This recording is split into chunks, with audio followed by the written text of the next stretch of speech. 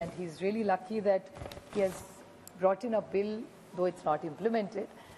But uh, he's lucky that in his legacy that he will leave behind, he'll be one of the finest ministers who has brought something which was very close to our hearts. And I'm not taking away his intent of this bill which he has brought in. I have only a few suggestions. I'm not a lawyer. Most lawyers have spoken before me. But the intent of the government, I'm sure, is very clear about what they want to do. But I have a few suggestions and questions to ask them regarding the implementation of this bill, which is actually really small. But there are a few questions I'd like to ask the Honorable out of my lack of legal knowledge. Is this that he says, what is a tout? Now, Mehtabji has spoken about it, and so has uh, Sri Raja from the DMK. But I seek a clarification from the Honorable Minister that he says that, which already Mehtabji has read, that who procures in consideration of any remuneration. So it's a one-sided thing, any remuneration. So it's a one-sided thing.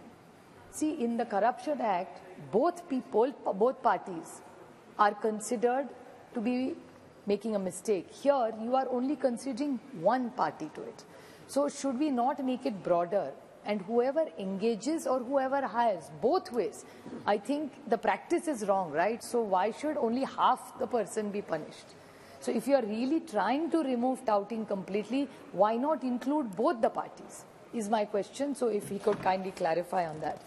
The other question for me is that who are the members present at every meeting? There is no clarity of it. In 45A, they've written that uh, the explanation is the majority of members present at the meeting.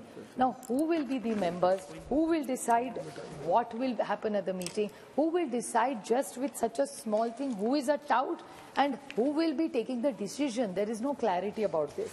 Now, this is like Rajaji said, I'm reiterating the point, but there are no objects in the bill.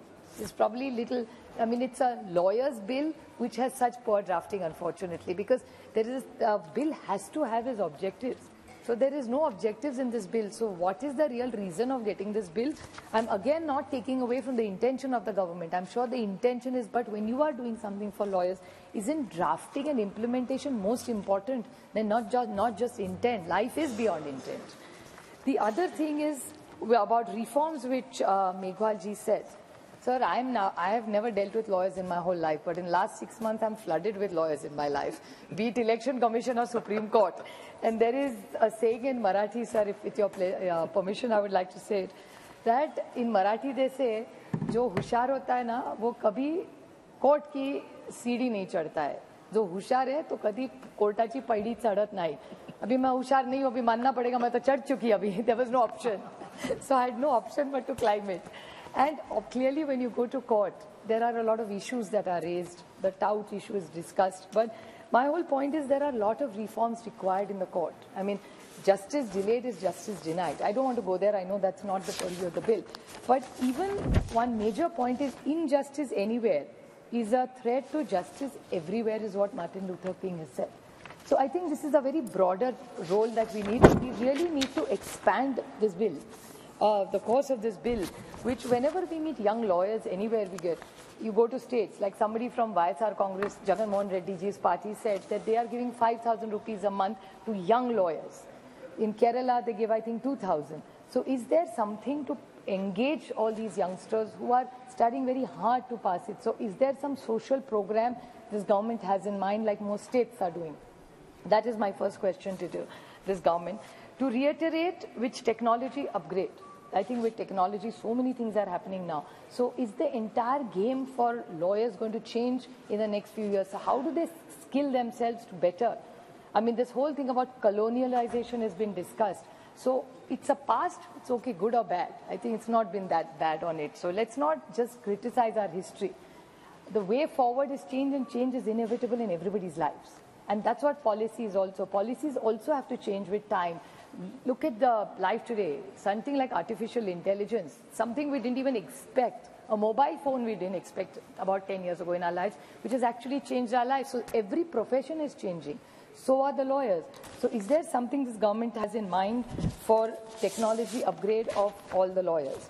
The uh, Protection Act, which uh, make, uh, talked about, I'd like to take it a little forward that many governments all over the country, not just uh, talking about advocates, but they are even talking about doctors and press safety and security because somehow I do realize, and we must all put our minds together in this government and in parliament, that there is somehow so much anger in society nowadays I don't know where this anger is coming from, sir. Even in Maharashtra, we are having a lot of challenge. I'm not trying to digress, but I'm just giving you a small example. Please don't misunderstand what I'm saying.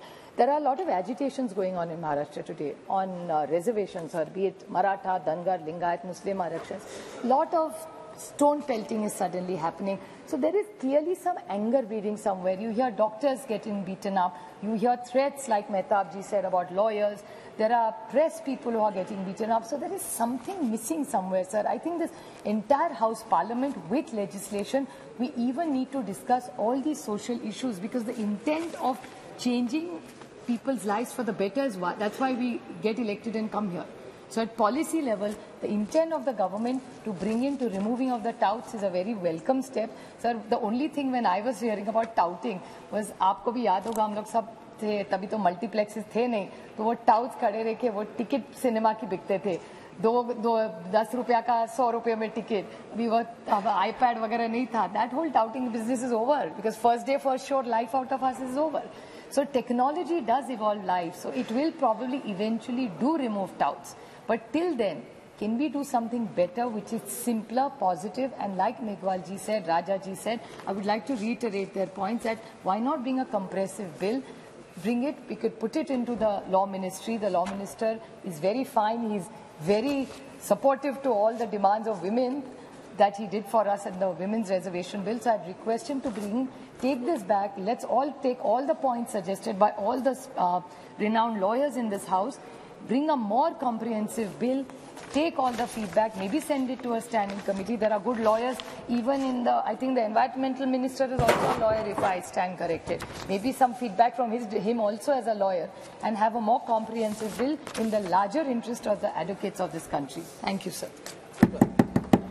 Shri K. Sureshi. Sir, give me opportunity to participate in this bill. Sir, let me begin by quoting Mahatma Gandhi ji, who himself was a lawyer and an ardent champion of justice. An unjust law is itself a species of violence.